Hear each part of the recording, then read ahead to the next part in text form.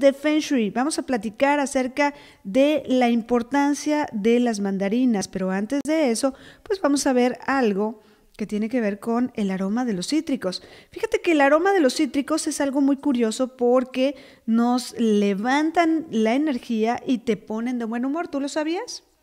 Sí, Sí, de hecho es, este, es muy recomendable para las personas que tienen algún problema de ánimo. Algún padecimiento. Sí. entonces, bueno, hoy te quiero platicar acerca de esto porque además comer mandarinas aumenta tu energía de prosperidad. Uy. Pero hay muchísima gente que piensa que las fabulosas mandarinas pues eh, son de México que porque el color, que es un color muy mexicano y sí, sí, sí. Entonces, fíjate, te voy a contar una historia. ¿Tú sabes el origen real de las mandarinas? Eh, más o menos, creo. Mm, bueno, a ver, primero vamos a hablar de el por qué las mandarinas son tan importantes para la salud. Fíjate, las mandarinas tienen la peculiaridad de aportarnos vitamina C, por eso en esta época donde hace frío la gente te dice come muchas, muchos cítricos. Sí, así es. Y también tiene una cosa que se llama flavonoides. Los flavonoides son para desinflamarte por dentro. Ah. Entonces son muy, muy buenos para los niños pequeños, para las mujeres que están en etapa de menopausia y también para las personas adultas, porque son los que más tienden a inflamarse en su interior. Tienen aceites esenciales, contiene también vitamina B, ácido cítrico, tiene un azúcar que es, eh, se llama azúcar reducida. Es un hidrato de carbono, o sea, es, una fructuosa, pero la fructuosa de la mandarina, peculiarmente, a diferencia de otras fructuosas, te quita el hambre. Tú te comes una mandarina o te comes 10 mandarinas y logras mitigar el hambre. Es verdad. También ayuda a tu sistema digestivo a funcionar mejor. Y además tiene vitamina A. ¿Sabías que las semillas, esas que le tiras, tienen ácidos grasos como los de las uvas? No se los tiro.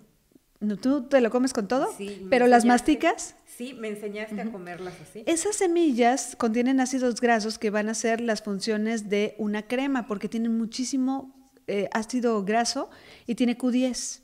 ¡Qué maravilla! Y tú pagando tanto por una crema, ya ves, en lugar de masticar las semillas. Sí, saben un poco amargas, pero ese sabor amargo también es importante para el estómago porque ayuda a cicatrizar aquellas cosas que nos dejan las harinas. Ah. También posee magnesio y fósforo. Las semillitas. Las semillas. Qué maravilla. Y tú comprando mucho magnesio cuando puedes masticar las semillas. Son muy fáciles de comer, a diferencia de las naranjas porque estas se pelan mucho más fácil, se desgajan más fácil y además tienen un sabor más dulzón. Sí, son como almendritas. Y no, no, no, ya te hablo de la mandarina. Ah, bueno. De la mandarina. Y también tienen un aceite que tiene una, perdón, una acción estimulante. Cuando tú estás pelando una mandarina, a diferencia de una naranja, la naranja sí lo percibes, pero lo percibes un poco menos.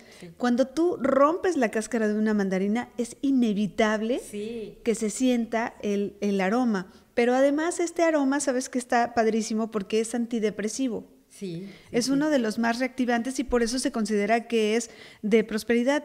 Eh, la mandarina tiene su historia en las lejanas tierras de Asia.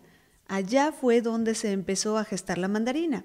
Y mucha gente piensa que, no, que es de este, del continente americano, pero en realidad, al igual que la naranja, eh, por eso le decían chinas, ¿no? Por eso se les llaman chinas. Naranjas de China. Así es. Y bueno, su nombre se debe a que hay una historia muy padre, porque eh, el color, si te das cuenta, es muy parecido al eh, de los burócratas de China o lo que ahora son también eh, los, los, monjes tibetanos también lo han adoptado, este color naranja que se dice que es uno de los, de los colores más transmutadores de las energías. Bueno, resulta ser que eh, hay una historia que me encanta y te la quiero, te la quiero contar. Los burócratas mandarines eh, de aquella época de la China, de la China mandarín, que de ahí viene también el lenguaje mandarín, bueno, pues resulta ser que los, los mandarines eran como la clase burócrata que estaba abajo del emperador. Nada más. O sea, el emperador era el top, ¿no? Era el máximo. Pero entonces todo el séquito que estaba junto a él y que se encargaban de administrar eh, todo lo que tenía que ver con el imperio, pues era, eran los mandarines. Eran como los nobles entonces. Eh, más allá de los nobles, porque eran como en este ¿Los momento. Gobernantes? Sí, exactamente. eh, pero no se les llamaba propiamente los gobernantes, porque el que mandaba era el emperador. Esas de cuenta como los secretarios de Estado con el presidente de la República, de cualquier eh, situación demócrata, ¿no? Bueno, entonces resulta ser que uno de ellos era un, un poderoso mandarín que era muy generoso solía ser muy generoso con el pueblo, les, les le hacía que el emperador eh, tomara mucha conciencia de lo que le pasaba al pueblo. Y entonces este mandarín se casa con una mujer un poco amargada y egoísta. Y entonces esta mujer hace que eh, este hombre deje de darle los beneficios al pueblo. Tú sabes que un hombre enamorado es una cosa muy fácil de manejar. Ay, pobre mandarín. Y entonces este mandarín lo que hace es que empieza a eh, cortarle los subsidios al pueblo y dice, sí, pues a lo mejor tiene razón mi esposa. O sea, en aquel entonces, fíjate qué curioso, porque los hombres eh, no le daban mucho, mucha voz a las mujeres.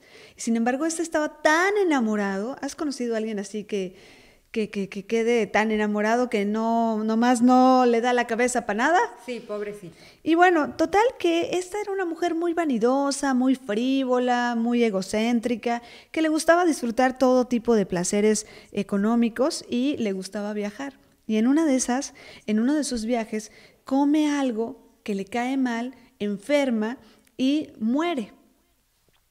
Y pues este mandarín queda muy, muy deprimido, muy triste, inclusive estuvo pensando en renunciar a, a, al puesto que el, que el, emperador le había dado, pero el emperador realmente lo apreciaba, lo quería mucho, y le dijo, mira, tómate unos días, vete de vacaciones, haz de cuenta, algo así, sí. y entonces lo invita a una de las casas de campo del, del emperador, emperador pero ese, esta temporada, pues era una temporada de, de verano, de primavera a verano.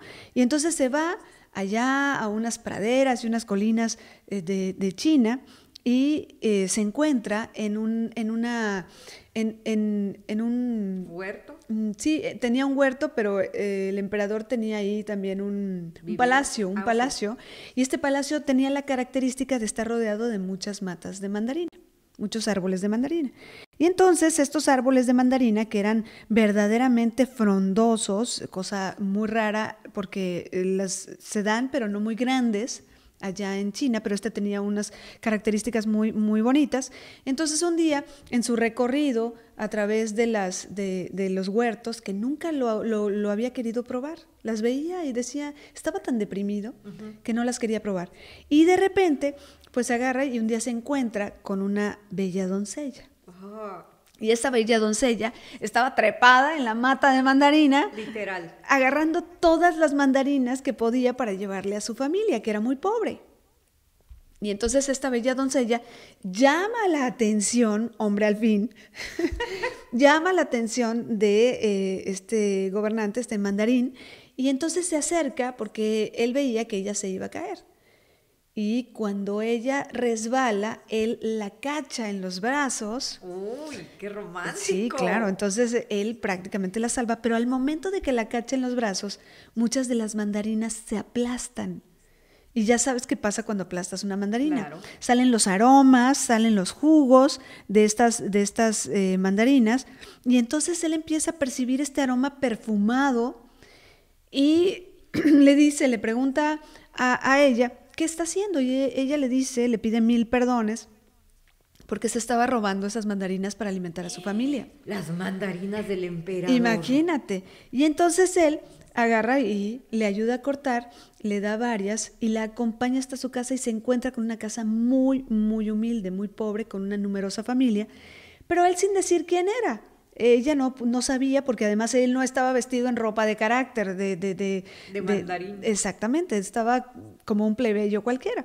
Y entonces empieza a convivir con la familia de ella y se siente muy animado y en, dentro de lo que están comiendo, pues están comiendo mandarinas. Él empieza a comer mandarinas, las prueba, le encanta, la muchacha le encanta, la familia lo cautiva y él le vuelve como que a resurgir esta parte generosa que él siempre había tenido. Oh. Entonces empieza a ayudar primero a los de la comunidad, los que estaban ahí. Regresa con el emperador le platica todo lo que ha visto en el camino y le cuenta cómo está su pueblo en, aquellas, en aquellas lejanos, lejanas regiones. Y entonces empieza a platicarle de que ellos tienen que hacer algo, porque es injusto totalmente que de alguna u otra manera pues la gente esté sufriendo mientras hay tanta abundancia en algunos lugares y tanta escasez en otros. La historia de muchos países, ¿verdad? Que siendo tan abundantes, pues hay mucha gente pobre. Eh, este, incluyendo nuestro propio país. Bueno, el caso es que este, esto se vuelve tan popular que él empieza a regalar plantas de mandarina a todos y para que todos sembraran. Y entonces se vuelve muy popular que se siembre en macetas.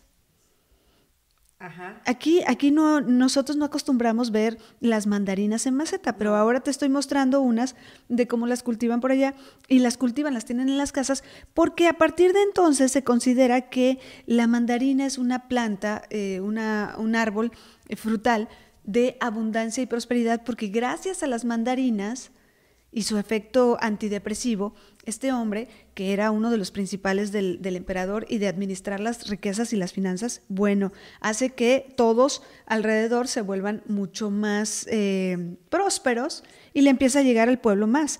Y entonces también empezaron a sembrarlas en bonsais y ahora, ahora por eso para los chinos es tan importante la representación. Este que te estoy mostrando ahora es un bonsai, es artificial, pero evoca todo lo que las mandarinas pueden hacer en un momento dado por la energía, la energía de la prosperidad.